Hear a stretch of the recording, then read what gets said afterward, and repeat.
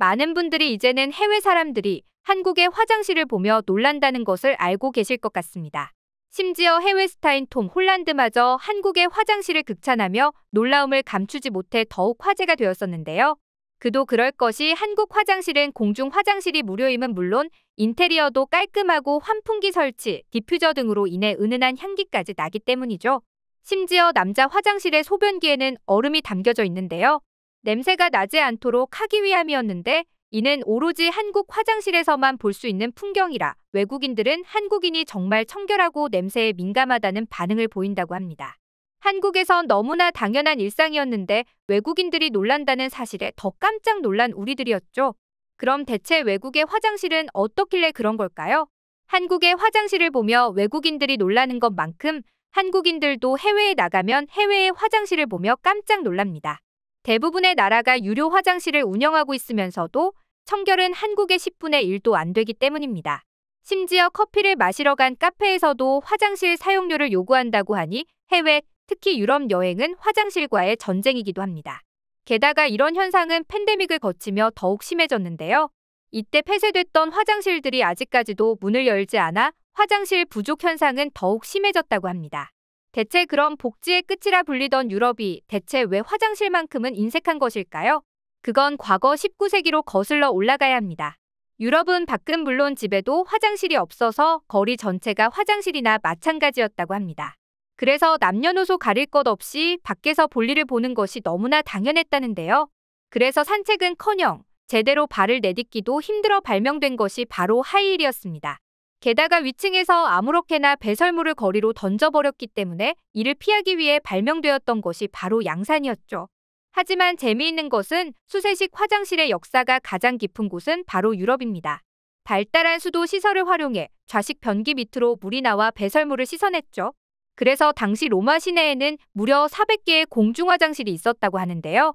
하지만 로마가 망하고 기독교가 지배 이념인 중세로 들어서면서 이런 화장실 문화는 사라질 수밖에 없었다고 합니다. 이 시기에는 육체의 모든 욕구를 억제해야 한다는 금욕주의의 명목하에 화장실은 물론이고 목욕 문화까지도 사라졌는데요. 이런 이유로 유럽인들의 청결과 위생은 악화되기 시작했습니다.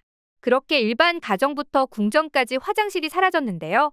무려 5천 명이 살았던 베르사유 궁전에 화장실이 없는 이유가 바로 이것 때문입니다. 이에 프랑스 저술가 메르시에는 1782년 파리에 왜 대중화장실이 없느냐고 비난하는 글을 남기기도 했습니다. 그는 갑자기 볼 일이 보고 싶어지면 큰 낭패다라며 아무 집이나 찾아가 문을 두드리고 사정하며 도움을 청하는 수밖에 없다고 분통을 터뜨렸죠.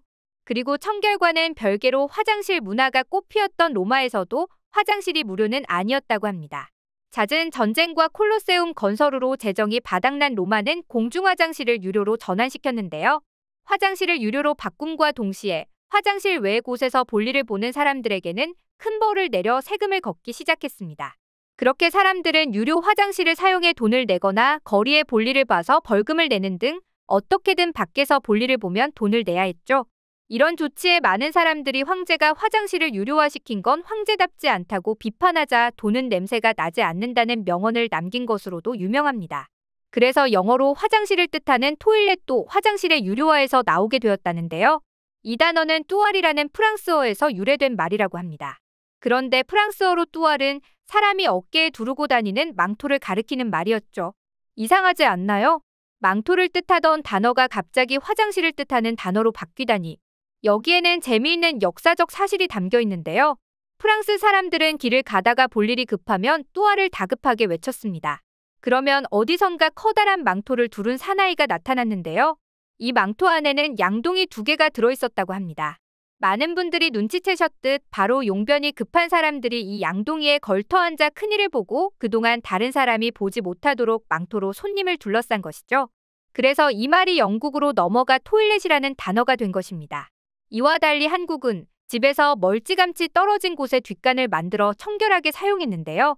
생각보다 유럽 사람들이 향수를 뿌리면서 고상한 척하지만 화장실 문화만큼은 우리가 과거부터 앞서왔다는 생각이 드네요. 그럼 과거는 그렇다 쳐도 왜 아직까지도 유럽에는 공중 화장실이 지저분하면서 유료이기까지 한 걸까요? 여기에는 현실적인 이유들이 몇 가지 있는데요. 가장 큰 것이 바로 건축물 문제입니다. 유럽 도시들은 오래된 역사와 독특한 건축 유산을 가지고 있습니다. 이에 따라 골목은 협소하고 복잡할 수밖에 없죠. 게다가 단단한 돌로 지어진 집들이 많고 도시계획법과 건축 관련법의 규제를 받아 공중화장실을 설치하기 어려울 수 있는 것이죠. 게다가 유지 관리비가 많이 드는 것도 한몫을 하는데요. 유럽의 물은 한국의 수도를 생각하면 안 됩니다. 유럽은 석회 성분이 많아 파이프를 막기 때문에 배관 교체를 하는 데에도 비용이 어마어마하게 들죠. 이런 이유로 공중화장실들은 모두 유료로 제공되거나 아니면 아예 없는 경우가 흔한 것이죠. 게다가 유럽 사람들은 공중 화장실에 대한 인식도 남다릅니다. 한국은 이런 공중 화장실을 공공시설으로 생각해 청결하게 쓰는 것이 원칙인데요. 유럽의 경우에는 돈을 내고 사용하다 보니 깨끗하게 유지가 되지 않을 뿐더러 화장실에 수도꼭지를 떼어가거나 기물 파손을 하더라도 모른 척하기가 일수라고 합니다. 그리고 노숙자 문제도 한몫을 합니다. 유럽 내에는 노숙자 수가 무려 90만 명에 이르르는데요. 만약 공중화장실을 무료로 개방하거나 그 수를 늘린다면 노숙자들이 화장실을 점거하고 더럽히기 때문에 증서를 막는다는 것입니다. 게다가 점거하는 것을 넘어서서 온갖 범죄가 공중화장실에서 일어나는 경우도 빈번하죠. 이런 이유들이 모여 유럽의 화장실 인심은 그야말로 인색해졌는데요. 하지만 한편으로는 유럽 각 나라들의 정부가 이를 안 하고 있다는 생각도 듭니다. 21세기에 이런 현상이 나타나고 있다니 한편으로는 굉장히 신기하기도 한데요. 우리야 여행으로 며칠 짧게 묵어 잠깐만 고통을 참으면 되는데 현지인들은 이 고통을 어떻게 참는지 잘 모르겠습니다. 이와 달리 한국의 공중화장실은 어느 나라와 견주어 봐도 손색 없습니다. 심지어 법률로 대형 공공장소의 경우에는 1층 화장실은 무조건 개방하게 규정되어 있죠. 그런 이유로 지도 어플을 켜서 화장실을 검색하면 개방 화장실을 수두룩하게 찾을 수 있고 가까운 지하철역에 가기만 해도 화장실을 이용할 수 있습니다.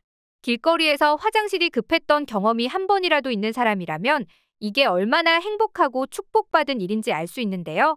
이런 이유 때문인지 한국을 방문한 외국인들은 하나같이 감탄을 내뱉고 있죠. 한국도 처음부터 깨끗했던 것은 아닌데요. 과거 2002 월드컵 개최도시 유치 사업에 한창이던 때 당시 심재덕 수원시장은 전 세계 관람객들이 편안하고 즐겁게 월드컵을 즐기기 위해서는 화장실 문화가 개선돼야 한다는 사실을 깨달았다고 합니다. 이를 깨닫고 바로 월드컵 유치에 앞서 화장실 문화 개선 사업을 벌이고 수원시 공공기관 등의 공중화장실을 갈아엎기 시작했는데요. 이 당시에는 사람들의 반응은 싸늘했다고 합니다. 하지만 인류의 보건과 위생, 생활 안정을 향상하려면 화장실 문화가 개선돼야 한다는 심재덕 선생의 신념은 확고했다는데요. 결국 1999년에는 한국화장실협회를 창설하고 2007년에는 세계화장실협회를 창립했죠. 그 덕분에 전국 대부분의 화장실이 깨끗해지며 수많은 나라에서 한국의 화장실 개선 사업을 벤치마킹하게 되었는데요. 심지어 지난 2019년 유엔은 보건 및 위생 관련 전문성을 인정, 세계화장실협회의 유엔 경제사회이사회 특별협의 지위를 수여하기도 했죠. 그 덕분에 우리는 지금 어딜 가든 아주 깨끗한 화장실을 사용할 수 있게 되었는데요. 앞으로도 한국의 화장실이 더욱 많은 사랑을 받길 바라며 오늘의 영상 마치겠습니다.